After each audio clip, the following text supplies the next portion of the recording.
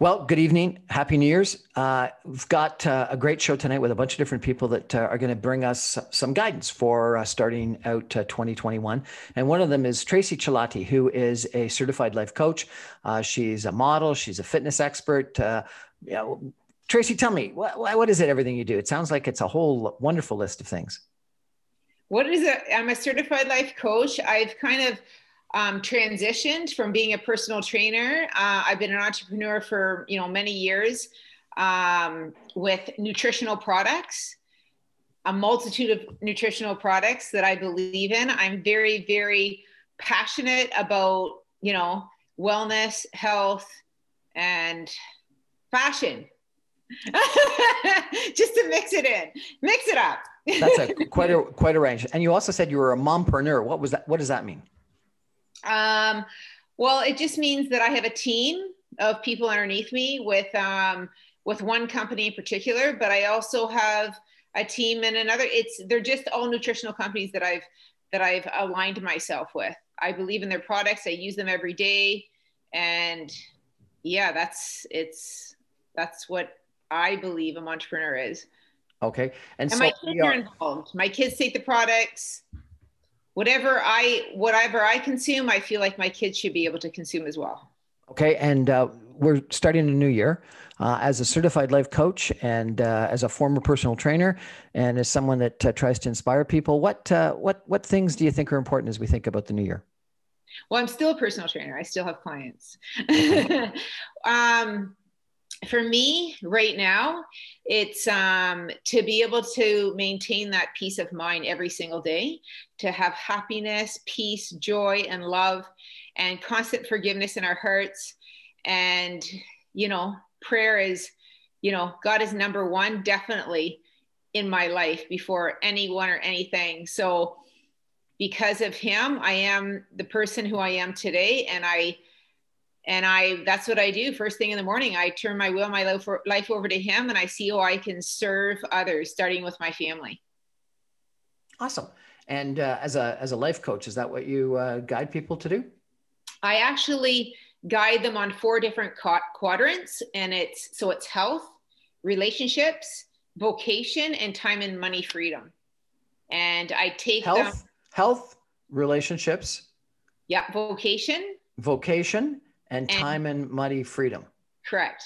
Okay, so let's talk about each one of those. So, so health, it's obviously fitness and nutrition. Is that correct? Correct. Okay, and and on, mindfulness, of course, mindfulness. Which is what uh, meditation or yoga or what? Meditation, yoga, prayer, affirmations, gratitude, all of the above. Fantastic. Okay, and uh, and then uh, the second one was relationships. Tell us about relationships. To just have healthy, positive relationships with your starting with your family, with I would say God first, like your higher power, whoever that might be, and then with your family, with your um, loved ones. That's so important with friends, with your colleagues, your clients, customers, all the above. And I, for me, it's all about like not holding any resentment at all and letting things go. And I just on a continual basis, on a daily basis, I I pray for people and to keep those relationships healthy and strong and just communication is is so important as well.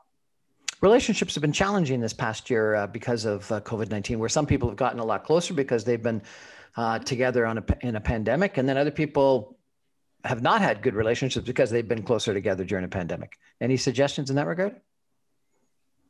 Yeah it's just it's like again it starts with you. It starts with it for me, like because I have four kids, right? It starts with me and how I start my day because I truly believe on my foundation is the way I am and how I start my day and the energy I bring into that day. My positivity, my gratitude, my love for people, and and realizing that people are human. I'm human. I make mistakes. People, and we just you know forgiveness is so key to to having healthy relationships. That's how how I've you know, I believe we all have maintained healthy relationships through this COVID. But I've been on the other side where I've, you know, I've went through very difficult times. So I've learned the hard way also. So I'm here today to speak because I've come through difficult times, you know, divorce and and very, very hard times. Uh, can you tell us anything more about that? What was the hard time? Uh, just with close family members and whatnot. Just, um, yeah, breakdown of relationships and having to uh, rebuild them again. From and how did you deal with that? You said you've said uh, resentment. You don't allow that into your life, and forgiveness. Are those the things that have been your secrets to getting over those situations? Definitely key. The twelve step, the twelve steps. So I'm a part of a twelve step community. I actually work with addicts. I am a recovered addict myself. So I work the 12 steps on a daily basis. And when you work this 12 step, it allows you to have healthier relationships with, with the people around you. It's an okay. amazing program. Life changing uh, so, so, so that's uh, health and that's relationships. The third was vocation. Tell us about what advice you give people as a life coach on vocation. Vocation is doing i believe what you love what you're passionate about and to do more of that to do more of what you love. Maybe you do have a job but maybe you have that you maybe don't like but on the side do something that you that you do love and start to implement that in. And then if that's your goal that could be a goal you could work towards maybe you know, um, getting paid part time for doing something that you love and then working it in more, where maybe one day that's your dream to do that full time, right? Maybe it's, you know, you've got a corporate job and you want to be a a life coach or you want to be a yoga teacher and you so you can bring that in. Now is a perfect time too, because everything's going virtual, right? Why is it a perfect time? I think it's, you know, people are challenged, businesses are going bankrupt.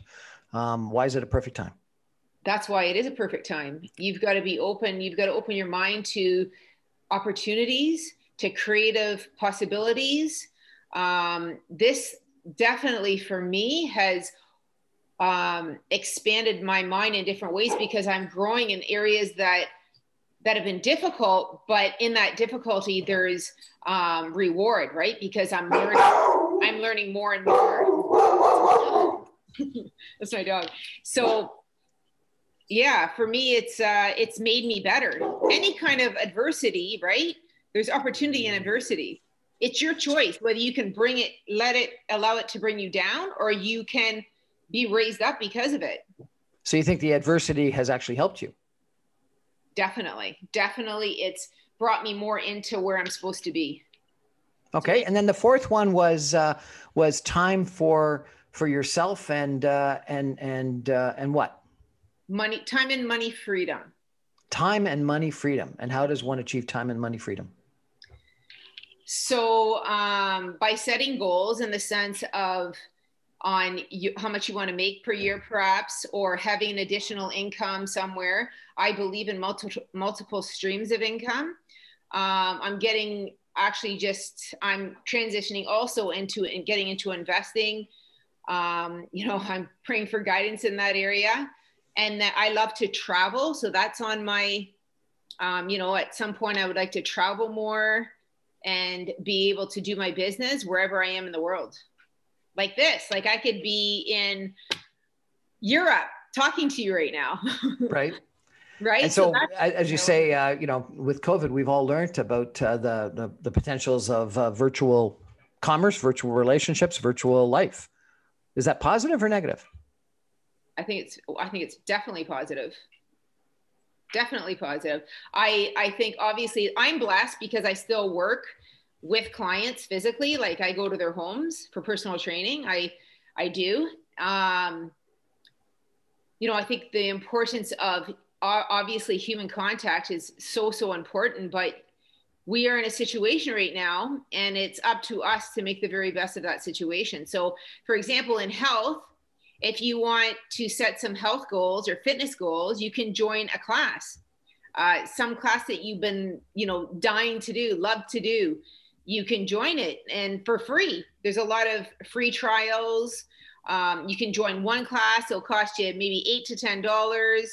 Just do what you love, and by doing what you love, you will get to where you want to be. I do believe in that big time.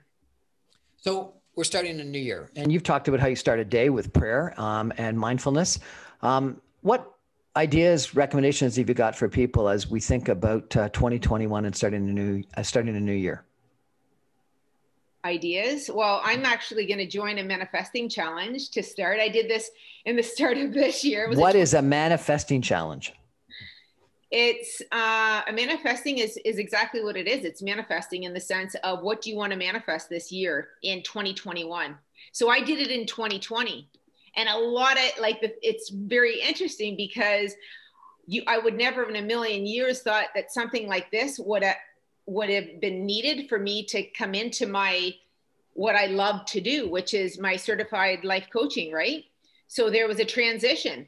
I lost uh, a big client of mine, but in that losing something, I gained something. I gained more clients in in my life coaching, and uh, so I manifested that because that was my goal. My goal is to get more into my life coaching. I still want to keep my you know my clients in personal training because i love them very dearly but i want to get more into life coaching because i can travel with my life coaching i can i can life coach people from all over the world that's, that's okay so so manifesting is is thinking about uh, visioning what you want and and uh, and planning on it coming true and then what you do is you you join a group that what helps you um keep on the on on that path Yep. And there's so there's daily videos and emails and the whole idea is feeling good every single day. You want to get into that space of feeling good because when you feel good, you manifest all the positive to you. You attract that into your life. Whatever you you want to attract, you writ, you wrote down by feeling good and getting into that high vibration energy, you will attract these things to you. If you're in a low vibration energy that's negative, where you are maybe resenting or maybe you've got negative relationships, that's not going to bring you to where you want to be, right? In a healthy, positive, joyful, happy way. You can, okay. You, you understand what I mean? Yeah. Yep. Okay. Anything else other than manifesting? Starting a new, new year, what else uh, should uh, you recommend to people to do? Um, just to set goals on in in those areas, to set goals with with your health. Like what do you want to happen with your health? So brian what do you want? What are you going to set for for your health in i have uh, i've not been as active as i need to be. And uh, and uh, and so therefore i want to get more active. Uh, i've got a a pool in my backyard and with covid-19 i swam every day and that was good but frankly uh, given the the colder weather, I have not been nearly as active. I, I used to uh, be a member of a gym, uh, but because of the gym closures, uh, I haven't been going. So I've got to find a way of getting more active. And I've been thinking about, at least in the winter, uh, skiing, cross country skiing, downhill skiing, walking, etc. Have you ever hired a personal trainer or someone, a mentor to get you to your fitness goals? Uh, I've heard of it. I've never done it. So that's a perfect example of when you hire someone that's an expert in that field, they will help you to get to your goals in that area. So that's what I do. Exactly. Okay. And then I could say, okay, so relationships, what kind, what relationships do you want to enrich in the year 2021, Brian? Well, that's a rich question. So we got an issue there. Ah, right. do you want to do you want to tell me more about that? Not publicly on the uh, the the radio, no. Okay, well, we'll we'll uh, I'll set you up an appointment okay. And then vocation, I'm starting a new job. And so uh, that's uh, an interesting uh, uh development. And then the last one was time for. What are you starting? I'm going to be executive VP corporate development for a medical device company. Wow. Congratulations. Thank I you. love that, Brian. Way to go. Where do you live, by the way? Mississauga. Hmm. I was there yesterday training a client. And then the fourth is time for um, uh, time and money for what was it? Time and money freedom. Time and money freedom. Um, and that's probably something to look forward to and uh, plan for. There's no question. And I think some of your uh, your plans in regards to the ability to travel um, are probably pretty critically important, and uh, the ability to uh, have money that uh, you know i read this wonderful book at one point in time shogun where the lead proponent uh, said the key to life is having a little bit of uh, she didn't call it buzz off money she called it something else but it was effectively something like buzz off money uh, so that you know when you've got a, a bad situation or a bad relationship or a bad job or a bad something or other you can say buzz off because you've got a little kitty in the back. So I think that's critical. Well, those are some great suggestions for the for the new year. Thank you so much, uh, Tracey. I really appreciate it. If people want to contact you for uh, your coaching or uh, your personal training or whatever, how do they do that? email is probably the best or by by text. Excellent. Well, thank you so much uh, for joining us. Your email is Tracey T R A C E Y and my last name C E L O T T I B V M S at gmail.com. Well, thank you so much for joining us and Happy New Year's. Thank you. Thank you for having me. Thank you.